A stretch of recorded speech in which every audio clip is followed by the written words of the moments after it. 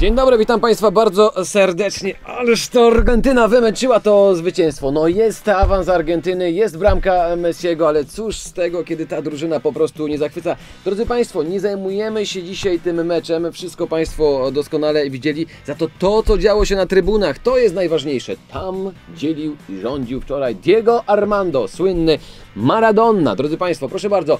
Co on robił? Bo to było kilka faz jego zachowania. Najpierw troszeczkę pospał. Jak już się łaskawie obudziła jego drużyna, ukochana drużyna strzeliła bramkę, to postanowił poobrażać troszeczkę zawodników i kibiców drużyny przeciwnej. A potem tak go to wszystko rozemocjonowało, że stracił przytomność pod koniec.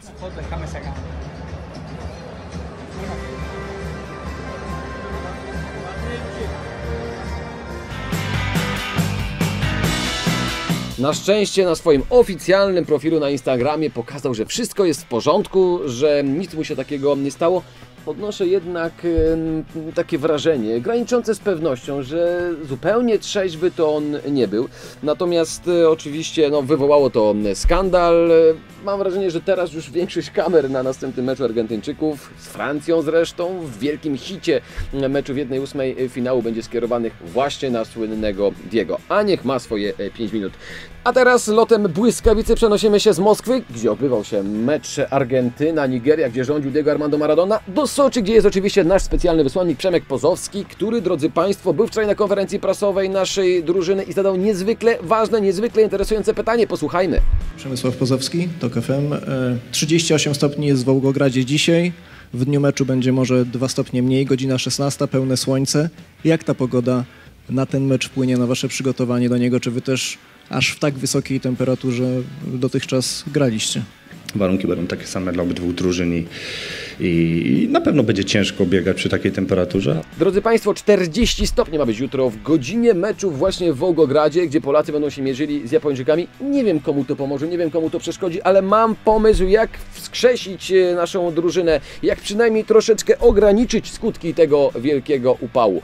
Drodzy Państwo, otóż e, władze Wołgogradu będą rozdawały e, papierowe czapeczki dla kibiców. I jednej i drugiej drużyny oczywiście. Pomyślałem, że można by było wykorzystać bezrobotnego na tym mundialu Sławomira Peszkę, żeby swoim kolegom z drużyny też takie czapeczki zrobił. Panie Sławku, to wcale nie jest trudne. Proszę bardzo, o tutaj mogę Państwu pokazać dosłownie 3-4 ruchy. I mamy złożoną taką właśnie czapeczkę. Proszę bardzo, szybciuteńko, z jednej, z drugiej strony pozaginamy.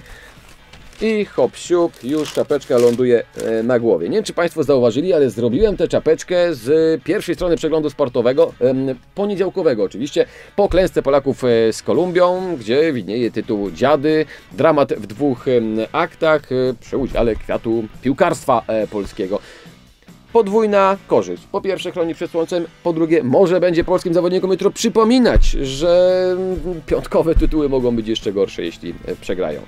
Śmichy, chichy, mecz jutro o 16, wcześniej, bo oczywiście dzisiaj w TOK FM programy.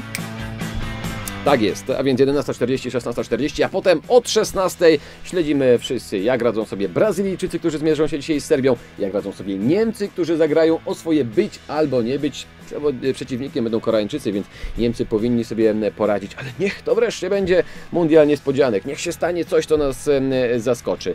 Na szczęście moja Chorwacja wczoraj wygrała, 9 punktów na koncie. Wychodzi jednak, że troszeczkę się na tym futbolu znam, choć nie za bardzo, przyznam to oczywiście szczerze i uczciwie. Drodzy Państwo, więcej o meczów, o meczach tych dzisiejszych, więcej o meczu tym jutrzejszym, a więc e, o meczu Polski oczywiście w jutrzejszym odcinku Stacji Mundialowo. Do zobaczenia, życzę Państwu miłego dnia.